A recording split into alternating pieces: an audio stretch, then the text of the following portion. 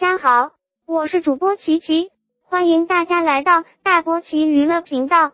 您的订阅是琪琪的动力源泉，不要忘记单击小铃铛，这样您就会及时收到琪琪的更新信息。谢谢大家。小妖是安安在大王工作室最好的朋友了。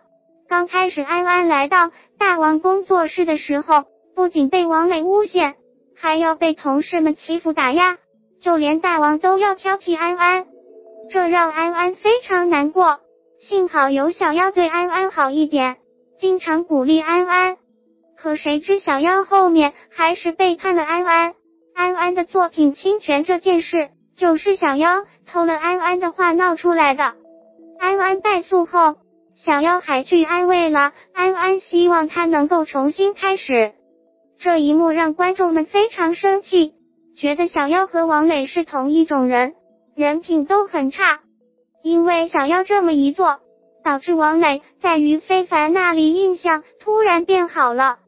因为安安刚出事的时候，于非凡怀疑是王磊做的，所以对王磊训斥了一番，甚至提出要和他划清界限。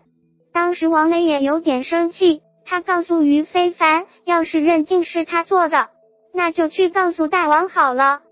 后来小妖才是幕后黑手，这让于非凡觉得自己错怪了王磊，对王磊很是愧疚。因此王磊又让于非凡对他有了好印象。不过小妖做的事曝光后，安安却并没有责怪他，因为小妖这么做也是逼不得已，是为了救妈妈。安安想着小妖的辛苦和自己在大王工作是，小妖帮助自己不少，便原谅了他。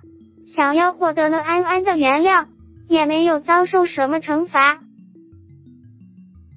谢谢您的观赏，如果您喜欢琪琪的大波奇娱乐频道，请您订阅吧，不要忘了单击小铃铛哟，这样您就可以及时收到大波奇娱乐的更新了。